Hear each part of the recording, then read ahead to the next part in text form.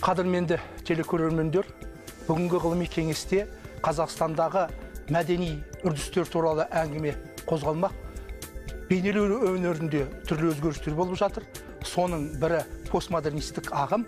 Бүгінгі әңгіме қазақстандағы постмодернистік бейнелеу өнері туралы болмақ. Қадірменді әріптестер отырыңыздар. Мысалы классицизм болатын болса ол жерде нақты бір ереже қандай заңдылықтар канондар болатын болса ал қазіргі постмодернист кезеңдегі өнерде нақты ереже жоқ. Менің ойым өнер деген енді әлгі адамды шошытпай бірақ бір кішкене адам жадына бір жақсы әсер беру керек деп ойлаймын. Мысалы үшін пикассоның ана герникасын иә иә. жаңағы ә, фашизм кезіндегі Иә, қалаға иә, бомба тасталғанда оны мысалы үшін реалистік шығармамен жасаса мүмкін сондай әсерлі болмас еді. Ал постмодернизмде осы өзгерістерді пайдалана отырып енді керісінше қайтадан классикадан өздерінен бұрынғы жоғалып кеткен ә, сұлулықты қайта тартуға көшті кейбір суретшілер.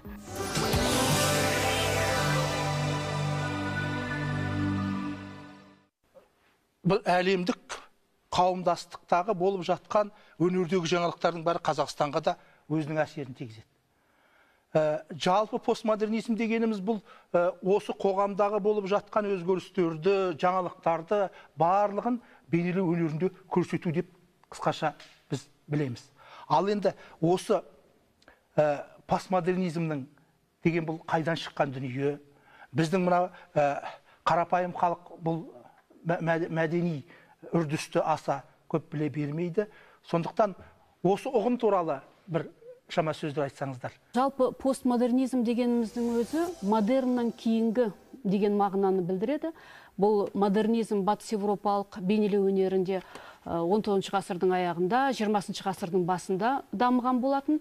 Жалпы модерннен кейін постмодернизм қалай неліктен келді дейтін сұрақ туатын болса постмодернизм ағымы бұл негізінен америкадан пайда болған. Америкада осы алпысыншы жылдары иә иә. Дюшан деген суретші ең алдымен ә, көрмеге өзінің жаңағы ә, бөтелке кептіруші деген сияқты басқа да бір дайын заттарды көрмеге алып қойды да сол кезден бастап постмодернизм ағымы пайда болды дейді. Яғни бұл постмодернизм нені білдіреді? Постмодернизм бұл осыған дейінгі қалыптасқан реализмге ә, қарсы шығу реализмді жоққа шығару модернизмдегі бар жаңағы әдістер тәсілдер постмодернизмде жаңаша әдіске тәсілге айналды. Жаңағы дюшанның постмодернизмге алып келген жаңашылығы редимейт деген ағым болды. Яғни дюшанның пікірі бойынша өнер тек қана жаңағы бір нәрсені қайталау не болмаса көшіріп салу емес. Кез келген адамның қолынан шыққан өнердің барлығы өнер туындысы бола алады деді. Осындай тұжырымнан кейін ә, кез келген бұйым зат егер де көрмеге қойылатын болса ол өнер туындысы бола алады деген сондай бір тұжырым пайда болды. Оны көп сол кездің өзінде де қабылдамады өнер ә, көп қырлы бұл жерде. Мысалы классицизм болатын болса ол жерде нақты бір ереже қандай заңдылықтар канондар болатын болса ал қазіргі постмодернист кезеңдегі өнерде нақты ереже жоқ. Оны әр суретші әрбір адам ол ережені өзі жасайды. Өзінің дүниетанымы өзінің ы, құндылығы өзіне тән жеке стилі болады. Яғни осы бұл өнерді яғни постмодернистік өнер дейміз. Бұл өзі жаңағы сол өнердің бір әрбір уақыт кезіндегі бір сол кездегі бір өзгешілік қоғамның өзгешілігі болады ғой. Соған байланысты адамдар кішкене бұрылады. Мысалы біз ана совет кезінен өтіп кеттік капитализмге өтіп кеткенде де өзгердік қой мысалы. Сол сияқты мысалы өнерде де сондай сондай өзгерістер болады. Менің ойым өнер деген енді әлгі адамды шошытпай бірақ бір кішкене адам жадына бір жақсы әсер беру керек деп ойлаймын. Мысалы біздің осы өзіміздің халқымыздан қалған текеметтеріміз киіздеріміз сырмақтарымыздың бәрі модерн Иә. былай қарағанда. Ол енді заман заманнан бізде бар. Сол бір жоғалып кетіп оның ондай аты жоқ қазір қайтадан айтылып тұрғанда бірақ ол біздің көзімізге жылы да. Әрі ыстық әрі сондай көңілімізге де жақсы. Ал кейбір бізде қазіргі уақыт қазіргі заманауи өнерде кейбір суретшілер батыста болсын шығыста болсын неше түрлі бәлені ойлап табады. Адамды шошытады да. Иә иә. Енді ол шошыған сол енді өнер ма өнер емес пе ол жағын мен айта алмаймын. Сол постмодернистікті ә, ағымда аса көп қабылдай қоймайсыз ғой өзіңіз суретші көп жақсы ретінде нәрселері бар. Иә иә. Бірақ оның ішінде жаңағындай бір ерекшелі тағы бір түрлері бар адам шошытатын. Рахмет жүгінеке ереке сіз қандай пікір айтпақшысыз? Қазақ бейнелеу өнері әлемдік бейнелеу өнерден сырт қала алмайды және мына суретші мына сурет деген өнер бейнелеу өнер өзі мына тілі ортақ оған аудармашы керек жоқ. Көзбен көр көңілмен түсін қабылда. Сондықтан мынау академиялық өнер классикалық өнер реалистік өнердің мынау ә, ғұмырының ұзақ болып келуі онда заңдылықтар. Оған үлкен дайындықпен келеді. Оған үлкен талантың болмаса үлкен ә, жаңағыдай білімің болмаса ол өнер жасай алмады. Академиялық оқу орындарын оқып барып сондай дәрежеге жетті. Және сондай өнер туындылар жасалды.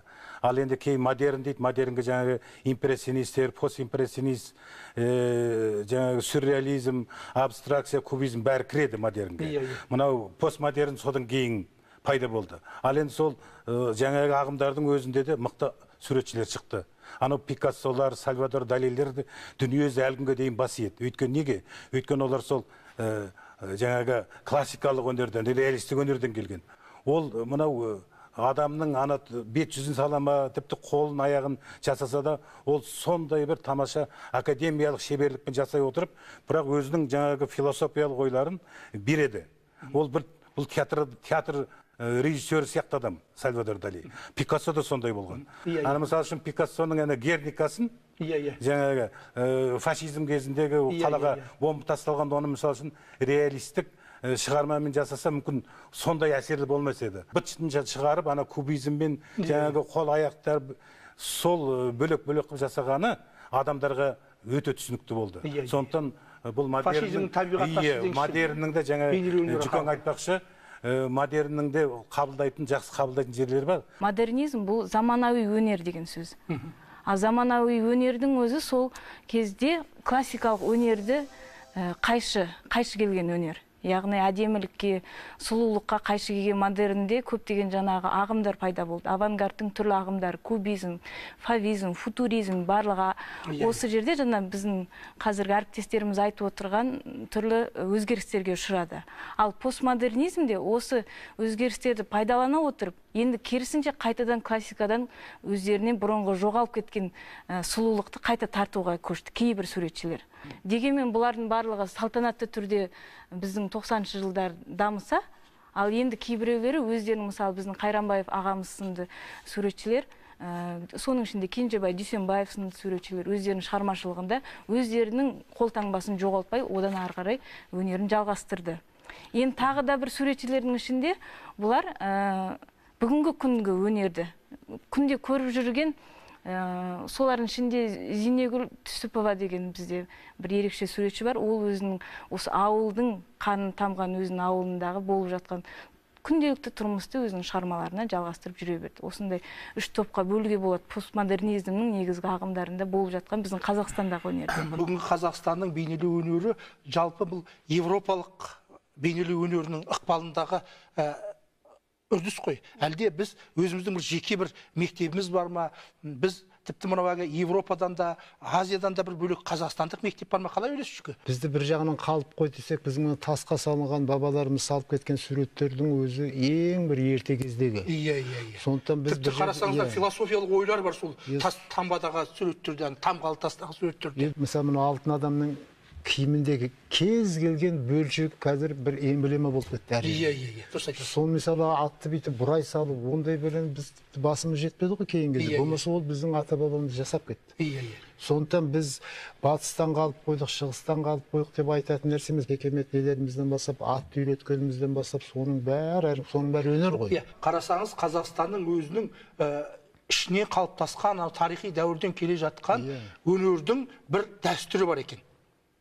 Соның бір мазмұны бар ғой иә. Иә, бар. ал енді тағы да бір сұрақ туады осы мысалы ренессанс дәуірі иә? Барлық бүкіл әлемге әсер еткен анау ә, леонардо да винчи мысалы. Жаконда луврға барсаңыз анау әлгі жаконданы көремін деген халықтың енді қаптаған халық ананы сол жакондамен бірге бір маңайына барудың өзі бір үлкен бақыт сияқты болып елестейді. Одан кейін мынау рафаэль сантидің сандро боттичеллидің тағы басқа көптеген суретшілердің бізге деген осы ықпалы. Осылардың осы модернизмге постмодернизмге қандай ықпалы бар? Әлемдік жаңа бейнелеу өнеріндегі жауһар туындыларын жаңа өздеріңіз өзіңіз айтып өткен алып суретшілердің шығармалары жауһар туындылары олар міндетті түрде. Септігі болды әсер етті. Ә, ол біздің қазіргі бейнелеу өнеріндегі алпысыншы жылдықтардың суретшілерінен нақты көрінеді. Мысалы алпысыншы жылдары ә, қазақ бейнелеу тарихында үлкен буын келді. Салихиддин айтбаев бастаған топ Иә, иә. бұл суретшілер салихиддин айтбаев шәмерден сариев ә, бахтияр табиев ә, Сы- сыдықанов барлығы батыс еуропа өнерін сонау бүкіл измдерді мысалы кубизм болсын фавизм барлық ағымдарды игеріп олардың туындыларын көрді. Яғни осыларды көру арқылы өзіміздің ұлттық өнерімізбен байланыстырып соның ішінде қолөнер өзіміздің сырмақ текеметтерді көріп ол жердегі ою өрнек жалпы форма яғни батыс пен өзіміздің ұлттық өнерді байланыстырып жаңа тілді бейнелеу өнерінің тілін қалыптастырды осы алпысыншы жылдар мысалы салихиддин айтбаевтың бақыт немесе ана бригада жиналысы атты туындыларында бір кубизмнің әсерін байқайтын болсақ ал тоқболат тоғысбаевтың асхана туындысында анри матистің фавизм стилінің яғни бірден байқауға болады. Сол сияқты ә, сальвадор дали сюрреализм болса ал біздің қазақстанда осы сюрреализмді ең алғаш қалыптастырып міндетті түрде әсерін алып өзіндік қазақи дүниетаныммен байланыстырып өзінің туындыларын жазған ерболат төлепбаевты айтуға болады бексейіт төлкеевті айтуға болады. Қадірменді телекөрермендер сіздер ғылыми кеңес бағдарламасынан қазіргі таңдағы қазақстан қоғамындағы постмодернизм тақырыбын көріп отырсыздар. Осы тақырыпқа байланысты біздің тілшілер жинақтаған бейнесюжет бар екен соған назар аударыңыздар.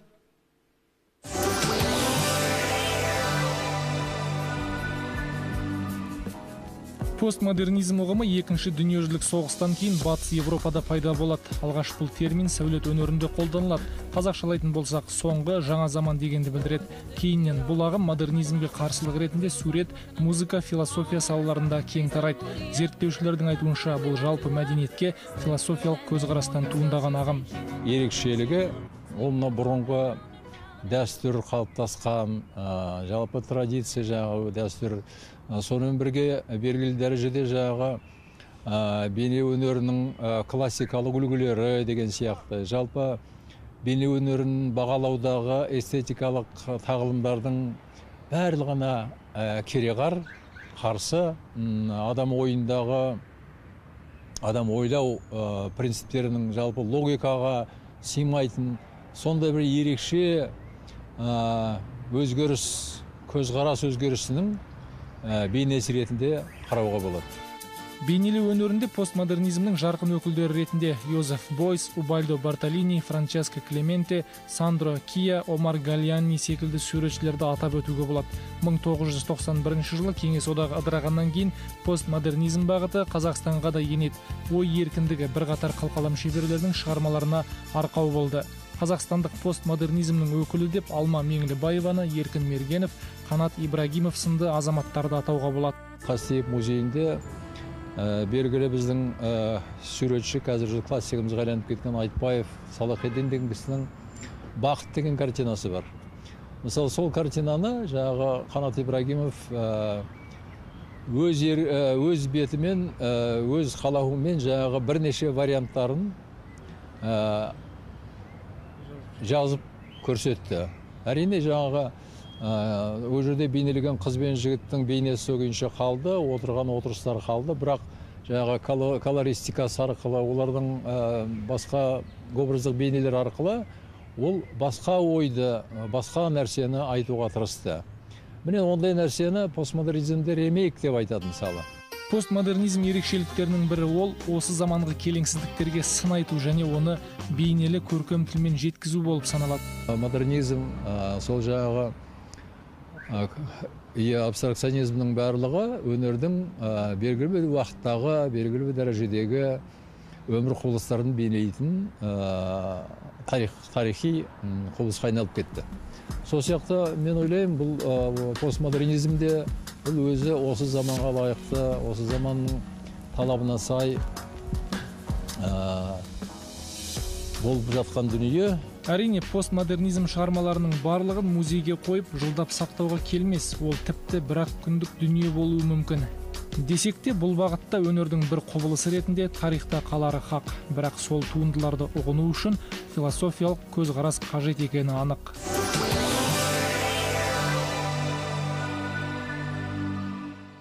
Жалпы біздің сурет өнері бейнелеу өнері мынау классикалық бұл кеңес одағы кезінде қалыптасты. Қолына қалам алып негізінен әлгі мольбертке отырып ә, сурет жазу дегеннің өзі сол кезде қалыптасты. Сол кезеңді біз социалистік реализм дедік. Социалистік реализм. Сол социалистік реализмнің бүгін бір әсері ықпалы бар ма? Сол социалистік реализмнің пайдалы жағы қандай болды? Көркем сурет училищесінде болсын кейін жоғары оқу орнында болсын өнер оқуында ол мына кәдімгідей канон дейді ғой. Иә. негізгі Иә. бейнелеу өнерінің жоғарғы деңгейлік кәсіби шеберлікке жететін мектептен өтеді. Ал енді оны социалистік реализм дейтін себебі оған идеология ықпал етеді етті. Бірақ ол идеологияда біз енді мынау коммунистік мораль деген болды кезінде. Ол енді ол коммунизм коммунизмге ұмтылу оның бәрін мүлдем жоққа шығаруға болмайды. Ол жаңа ұрлық жасама ә, адам адамға дос жолдас бауыр Иә, иә. ә, мысалы үшін қамқор бол отаныңды сүй ә, халқыңды сүй ата анаңды сыйла деген сөз ол қай бір ол жаман сөз. Сонда мына өнердің негізгі өнердің негізгі мақсаты мына адамды тәрбиелеу. Жақсылыққа тәрбиелеу ізгілікке тәрбиелеу мейірімділікке тәрбиелеу. Міне осы жолды ұстады социалистік реализм Иә, Ал социалистік реализмде гуманистік потенциал өте үлкен болды ғой ол ана коммунизм идеяларını көбірек насихаттады дейді. қызыл ту ішінде тұрса ол енді бір жаудың қазір сондай сияқты болып қалды. Ол бір керек жоқ дүние сияқты болып қалды. Ол ту өзгер өзгере берді. Әрине. бірақ ол адам қалды ғой. Социалистік реализмнің екінші тұсы жалпы бейнелеу өнеріне пайдасы. Жалпы мемлекет тұрғыда бұл жаңағы үлкен саясат идеология қажет бейнелеу өнеріне. Себебі сол тұста үлкен тарихи тақырыптар жаңа м- мейлі ә, кеңестік ә, уақыттың насихаттаса да бірақ жаңағы мемлекеттік тапсырыстар болып суретшілер нақты тар- тақырыптық туындылар Иә, жазды. иә, иә. онда ешқандай тапсырыстар жоқ болғандықтан бізде мынандай жанрлық жа- нақты бір тақырыптық картиналар қазір жоқ. Суретшілер әркім сондықтан әртүрлі стильде өзі не жазғысы келеді соны жазып жүр ал бір тұр бір тұрғысынан ға- қарағанда осы социалистік реализмнің жалпы қазақ бейнелеу өнеріне көптеген жаңағы пайдасы үлкен жанрлық композициялар алып мемлекеттік идеология қалыптасып келе жатыр. Мемлекеттік идеология біздің ол тәуелсіздіктің мызғымастығы ә, ол біздің халықтардың өзара достығы қазақ халқының мемлекет жасаушы ұлт екендігі біздің жеріміздің еліміздің ә, тарихымыздың мызғымастығы қазақтың. Міне осы идеялар ә, енді бүгінгі қазақстанға келсек осы идеялар қандай дәрежеде біздің мына бейнелену өнерінде орын алып отыр? Қазақстан бейнелеу өнері бұл батыс еуропалық ә, классикалық академизм мен ресей бейнелеу өнерінің негізінде қалыптасты. Ә, сонымен қатар мына социалистік реализм кезеңінде қазақстанда да бейнелеу өнері идеологияға жұмыс істеді. Жалпы Ә, бірақ осы бейнелеу өнерінің функциясы не деген сұрақтарға келетін болсақ бұл өнер дегеніміз тек қана бір идеологияға қызмет ету емес. Ә, мысалға өнер бұл идеологияны да идеологияны да қаруы болып кетуі мүмкін. Не болмаса ә, көркем туынды жаңағы айтып жатырмық қой дәстүрлі бейнелеу өнері дейміз иә? Жалпы бүгінгі күнгі бейнелеу өнерінде негізгі ә, екі бағыт үлкен бағыт қатар дамып келе жатыр. Ол жаңағы біздің қазақ ә, дәстүрлі бейнелеу өнеріміздің жалғасы. Сонымен бірге заманауи ә, бейнелеу өнері. Біз жаһандық мынау ә, кезеңде өмір сүріп жатқанымыздан біз ә, басқа елдерден шет қалмауымыз керек. Мысалға суретшілер шетелге шықты ол жақтағы көркем тәжірибелермен таныс болды. Сөйтті да олар жаңаша көркем тілді іздестірді.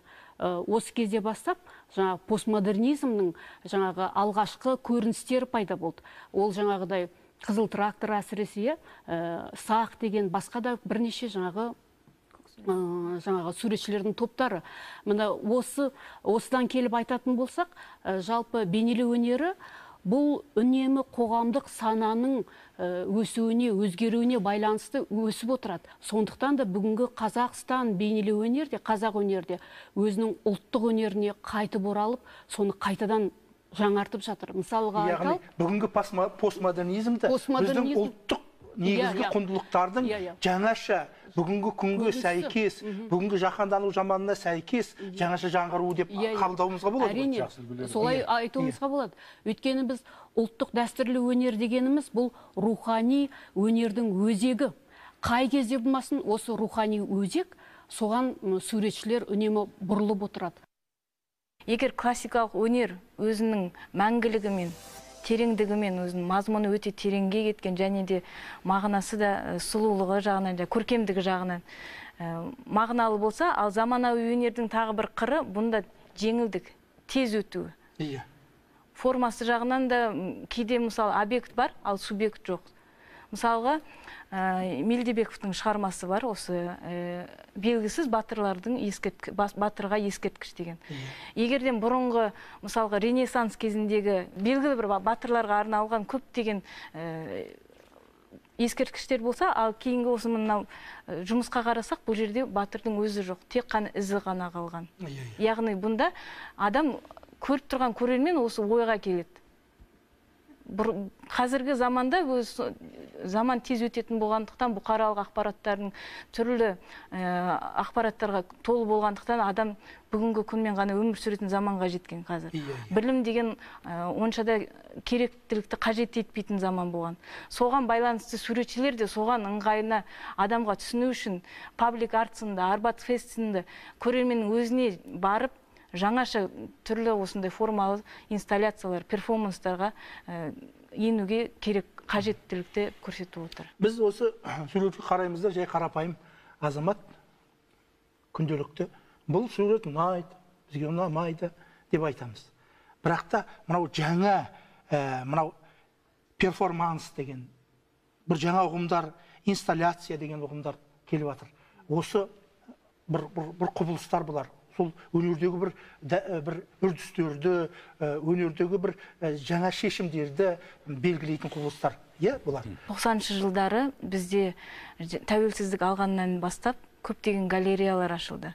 Сол галереялардың басын қосатын осы парад галерея көрмесінде әрбір галерея соның ішінде вояджер ұлар тенгри сынды тағы да басқа көптеген галереялар өздерінің жаңа жобаларымен келді. Иә иә содан бастап түрлі абстракциялық авангард инсталляция перформанстарын өздерін түрлі суретшілер топтасып отырып өздерінің шығарма жаңа туындыларын алып келді дүниеге.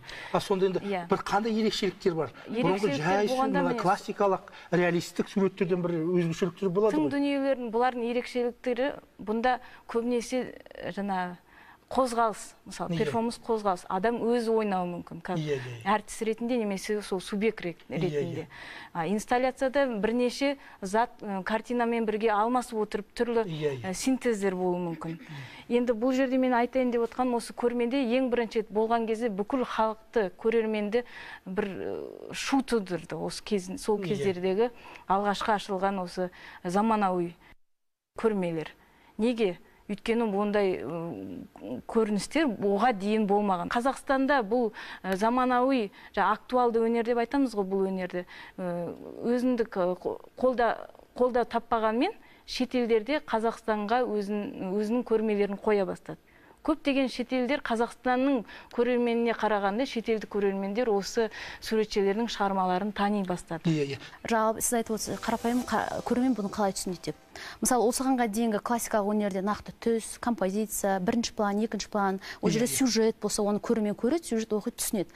Ал заманауи жаңағы өзекті өнердің түрлерін жаңағыдай перформанс инсталляциялар бұл жерде басты нәрсе тек қана идея. Иә. бұл жерде бұл өнердің өзінің негізгі идея яғни сол суретші көреді ә, ол жерде қандай идея басты концепция? Яғни осы постмодернизмдегі өнер ол тек қана ақпарат беруші. Не болмаса 1967 жылы осы концептуалды яғни өзекті өнердің ең алғашқы жаңағы өкілдерінің бірі джозеф кошут өзі ең алғаш көрмеге орындықты қояды. Оны орындықтан түсіріп ә, суретін іледі қабырға және де словардан өзінің орындық деген не екенін анықтамасын алады. Яғни бұл постмодернизмнің ең алғашқы белгісі. Бұл жерде басты нәрсе тек қана идея яғни орындық деген не оның суреті және анықтамасы. Ешқандай композиция түс үйреншікті классикалық өнерге тән нәрсе жоқ. Яғни постмодернизмнің басты нәрсесі яғни бұл жерде тек қана концепция идея. Яғни соны әрбір көрермен бір ғана нүкте немесе бір ғана сызық тұрса оны көрермен қалай түсінеді? Осыны ол түсі- түсіну үшін осындай туындылардың жанында қарапайым көрермен көбірек тұрады. Қарайды бірнеше ойланады. Яғни қарапайым халықтың кез келген көрерменнің өзінің ойлануға мүмкіндік береді постмодернизмнің негізгі Иә. мақсаты сонда иә. ойлануға тәрбиелейді дейсіз Тәрбиелейді, ойлануға иә. тәрбиелейді идеяларды иә, алуға тәрбиелейді тәрбие- иә. мысалы жаңағы ерекең айтып кеткен пикассоның жаңағы герникасы иә ол соншама қорқынышты қылып картина салғанда бірақ адам баласын сондайға бармаңдар деп тұр ғой мысалы Иә, осы жиналып істелінген қаншама өнердің түрі бар қаншама адам бар сонша өнердің түрі болса соның бәрін бағыштап әкеп бір жерден осы біздің адам болып сақталынып тілімізді дінімізді бәрін сақтап қалуға жұмсай алсақ мейлі авангард болсын не болсын реализм болсын бәрін айналдырып келгенде. Енді ол бізде сондай үлкен жеткен жетістік болар еді. Ал енді мына мында парадоксты қараңыз. Біз мына мен енді он жыл болып қалды осы қастеев атындағы өнер музейінде жұмыс істеп жатқаныма. Мына шетелден келген қонақтар бізде бәр зал бар. Батыс еуропа өнерін көрсететін орыс өнерінің классикалық өнер көрсететін біздің қазақтың.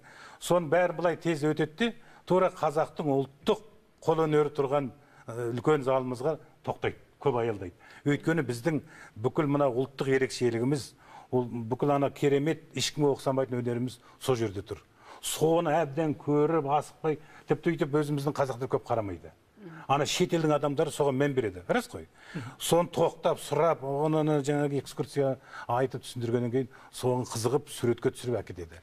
Жаңағы символикаңда абстракцияда бүкіл біздің мына қазақтың ою өрнегінде қазақтың қолөнерінде жатыр. Егер содан нәр алса тамаша бүгінгі бүгінгі заманауи өнерлер жасаған суретшілер бар. Мысалы үшін бапановтар отбасы қандай тамаша қолөнерін жасап жатыр. Ол міне бүгінгі заманауиға байланысты. Киімде үлгілерін жасап жатыр. Жаңағы ә, сюжеттік ә, гобелендер жасап жатыр. Содан кейін ана кейінгі кезде ана ә, әлібайдың ана живопистік туындылардың өзі жаңағы постмодерн. Жалпы қасиев мұражайы дегеніміз классикалық мұражай. Біздің қазақстандағышы онда жаңағы біздің сонау елуінші қырқыншы отызыншы елуінші алпысыншы бүгінгі күнге шейінгі жеткен бүткіл қазақстандық суретшілердің туындылары сол, жерде орналасқан. Ал енді сондай классикалық өнер туындыларының тура қасында мелдебековтің жаңағыдай мыжылған жа- ыдыстарды қойған жұмыстарын көрген кезде адам таң қалады яғни бұл жерде екі параллель. Бүгінгі күнгі да ә, заманауи өнер және дәстүрлі өнер деген сияқты да. Мысалға ә, осыдан бір екі жыл бұрын германиядан келген бір суретші өзінің заманауи бір ә, мастер классын көрсетті. Сол кезде заманауи өнер дегеніміз деді бір қағазды алды да үстіне бір ә, жаңа құтыдағы боя, бояуды сығып қоя салды. Сөйтті да соны бақылап тұрды. Бұл қандай өзгеріске ұшырайды екен деп. Яғни көрдіңіз ба бұл бүгінгі күнгі өнер жаңағыдай абсурдқа шейін кетіп жатыр адам санасына түсініксіз. Яғни бұл не деген дейтін болсақ жаңағыдай өнер өзінің барлық жаңағы беретін классикалық өнер аяқталып бара жатыр бітіп бара жатыр енді жаңаша бір ә, көркем ағым керек. Көркем дүниені тудыру керек. Сол сондықтан да ә, жалпы бүгінгі біздің қазақстан қазақ бейнелеу өнері өзінің осындай өнерін қайдан алады деген кезде ә, өзінің ұлттық өнерінен алады. Ұлттық жа- заманауи бейнелеу өнері дегеніміз де өзі классика мен осы ұлттық өнердің түйісін тоғысында туатын бір керемет жаңа дүние. Өте керемет мысырлық мәдениеттен ешқандай да кем қалмайтын сақ мәдениеті қалыптасқан бізде. Иә, иә, сол сақ өнерін қайтадан жаңғыртып жүрген мысалға ақанаев амандос ақанаевтың э, туындыларын біз қалайша біз бүгінгі заманауи өнер туындысы деп айта алмаймыз. Әрине ол заманауи өнер туындысы бірақ ол классикалық бір қатып қалған академизмге де бағынбайды. Онда ұлттық өнер мен жаңағы классикалық европалық тәжірибенің екеуінің де жаңағы озық үлгілерін алып отырады. Самал сіздің пікіріңіз? Постмодернизм негізгі белгілерін анықтап кететін болсақ ол бірінші архаикаға яғни өткен тарихымызға үңілу. Көркемдік емес материалдармен жұмыс жасау постмодернистер. Мысалы ол кәдімгі қалыптасып қалған кенеп немесе майлы бояумен емес ол түрлі. Резина болсын пластик болсын Иә, иә. тіпті жаңағы шөп болсын құм дейді түрлі ә, яғни көркемдік емес материалдармен жұмыс жасауы. Екіншіден екінші бір Иә, несі иә. бұл тактильді яғни ә, денемен түйісу жанасу ә, қырлары. Сонымен қатар ә, жоқ жоқ нәрсені жоқсыз нәрсені бар қылу. Әбдәшит сынықановтың таңбалы кескіндемесін алайық. Бір мың тоғыз жүз сексенінші жылдардағы бұл өзіміздің сонау таңбаларды алып пайдаланып оның түрлі ала- аралас техника арқылы постмодернизмге жатады бұл да. Иә, иә. яғни знаковая живопись бұл қалыптастырды. Яғни өзіміздің тарихымыздан алып. Немесе жаңағы қызыл трактор 90 жылдардың басында ең жаңағы қазақ бейнелеу өнерінде шу туғызған ә, топ болатын болса бұлар сонау трансавангардтық шаманизм яғни ислам дініне дейінгі бақсылық шамандық жаңағы ә, нәрселерді өздерінің ә, өнеріне пайдаланып яғни өзіміздің тарих пен бүгінгі байланыстырып жаңа тың дүниелер жасады бұлардың барлығы қызыл трактор көксерек болсын қанат ибрагимовтың түрлі акциялар перформанстары бұлар алмагүл меңлібаеваның мысалы қалыңдық немесе апатты видеоарттары шетелде өзінің бағасын алған туындылар. Мысалы өзіміздің елде бұлар кейіннен осы 21 ғасырда ғана танылса ал батыс еуропада еуропаның көптеген мемлекеттерінде сонда 90 жылдан бастап қазақ бейнелеу өнерінің дәрежесін шетелде таныта алды. Жақсы рахмет. Қадірменді телекөрермендер сіздер ә, қазақстандағы бейнелеу өнеріндегі постмодернизм деген тақырыпты ә, көріп отырсыздар. Ғылыми кеңес бағдарламасынан осы тақырыпқа байланысты біздің тілшілер жинақтаған блиц сұрақ бар екен. Соған назар аударыңыздар. Бүгінгі кейбір көркем туындылардың ә, жалпы көрерменге түсінікті бола бермеуінің себебі неде? Бүгінгі бейнелеу өнері шындығында да көрерменге түсініксіз. Иә. сондықтан да бүгінгі бейнелеу өнері өнер ма өнер емес па деген ә, түрлі жаңағы дау тудырып жатады да.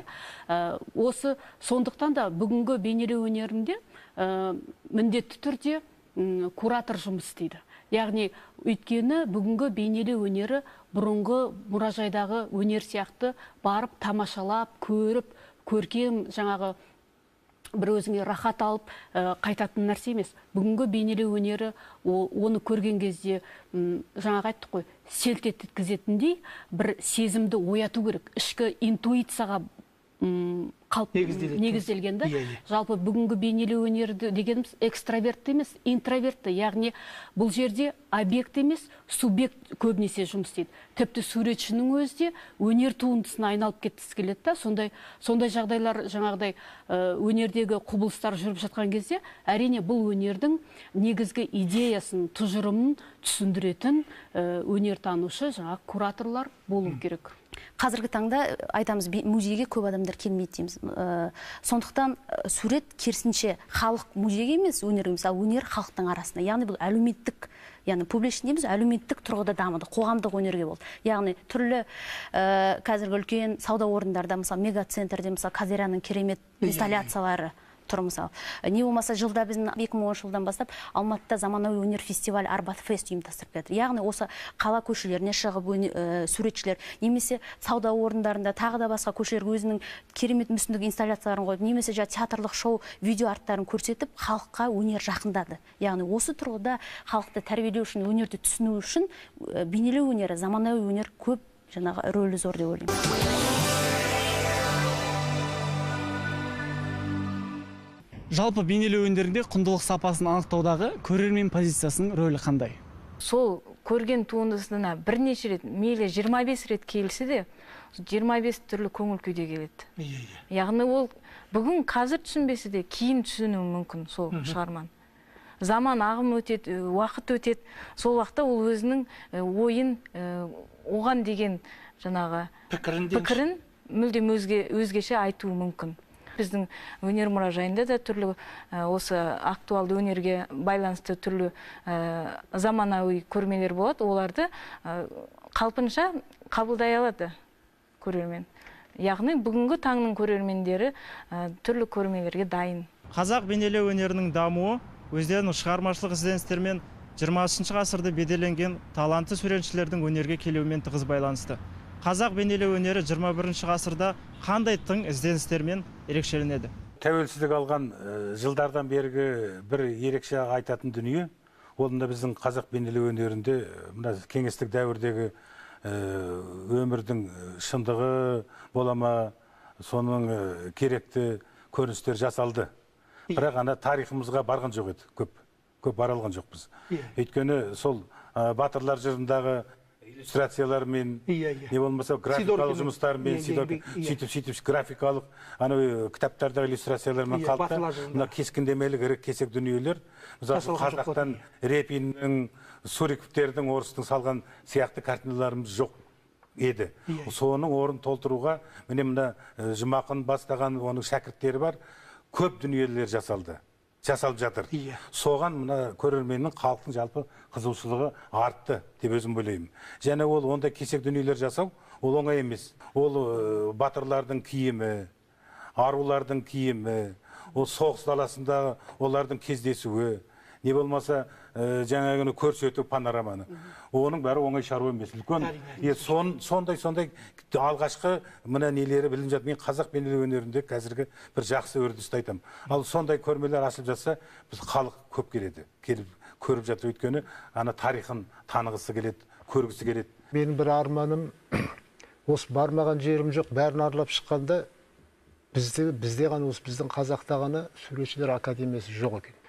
Мысалы жаңағы пикассо анау дейсіз мына шагал барлығы академия бітірген кезінде иә иә сондықтан олар суреттің барлығын өтіп шыққанда соны олар қалай беретін егер оның өзінің талантына байланысты ол сол жолды ашып табады бұдақты тесіп шығады бір жерден сондықтан бізге де осы балдарды кішкентайынан өсіре өсіре келе сондай бір академиямыз болса үлкен болмаса да иә иә бізге мысалы орыстарда қарасаңыз мысалы июль кезінде академиялары қабылдайды бүткіл ресейден сурет салатындарды таңдап алады екі ең озық балаларды деңізші ал қалған сурет жаңа қабылдайтын басқа институттар бар жаңағы художественно графический деген бар олардың бәрі бір ай кейін болады иә иә сонда біз жаңағы академиялары ең жақсыларын таңдап алады да оған түсе алмайтын шамасын көргендер басқаларына бара береді а бізде ондай мүмкіндік жоқ бір кезде біз экзамен алған кезде бәрі алады бізге келуден көбісі қорқатын болып кетті қазір. Мысалы Иә. колледж бітіреді олар келгенде алатынымыз алты ақ адам таңдай алмаймыз олар келмейді.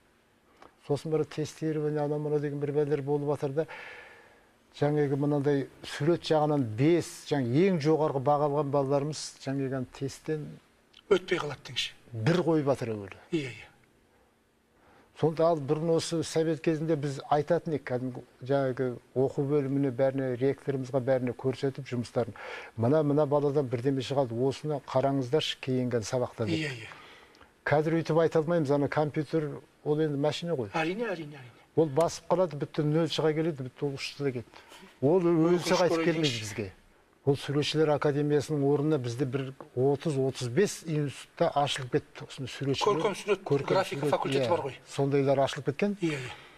Сондықтан бізде қазір быт шашырап кеткенде бүткіл қазақстан бойынша біз жаңағы ең талантты балаларды жинай алмай жүрміз. Қадірменді көрермендер сіздер ғылыми кеңес бағдарламасынан қазіргі бейнелеу өнеріндегі постмодернизм деген тақырыпты көрдіңіздер. Осы тақырыпты қатысқан мамандар өздерінің қорытынды сөзін айтса. Жалпы э, постмодернизм кезеңі бұл барлық халықтарды бірдей ету емес.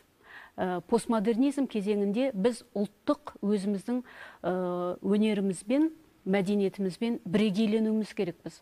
Сондықтан да бүгінгі мына бейнелеу өнеріндегі қазақстан бейнелеу өнерінде қазақ суретшілерінде жасап жатқан заманауи өнері осы бағытқа қызмет етеді деп ойлаймын. Бүгінгі бейнелеу өнерінде осы мейлі постмодернизм болсын мейлі қандай классика болсын мейлі модерн суретші суретшінің шығармашылығына қандай да бір бағыттағы.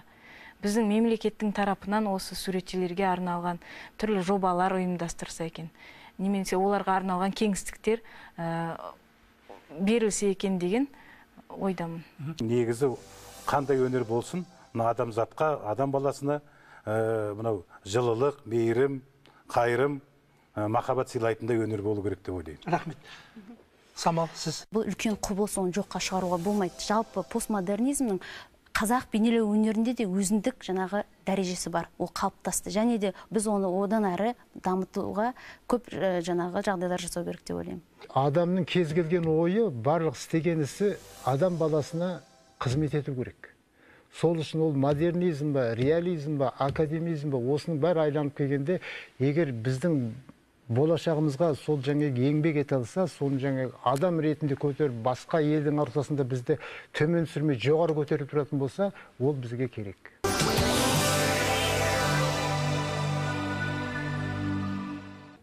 Қадірменді көрермендер сіздер ғылыми кеңес бағдарламасында қазіргі бейнелеу өнеріндегі постмодернизм деген тақырыпты көрдіңіздер. Бір хабардың көлемінде бұл мәселені толықтай айтып тастау тіптен мүмкін емес. Қазақ халқының мәдениеті жоғары сапасы биік болсын деген тілекпен бүгінгі хабарды аяқтаймыз. Назар салып тыңдағандарыңызға рахмет. Сау сәлемет болыңыздар